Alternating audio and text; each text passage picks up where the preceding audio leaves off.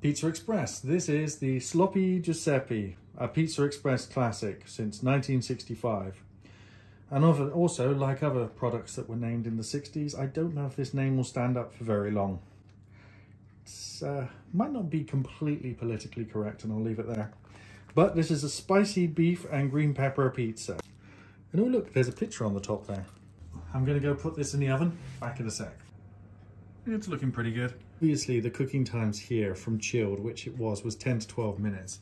It's been in the oven now for nearly 15 and it's not even close to... I think the manufacturers put a timing on here to make you think, oh, look, this one will cook in 10 minutes. I'll buy that one instead of this one that says 15 minutes.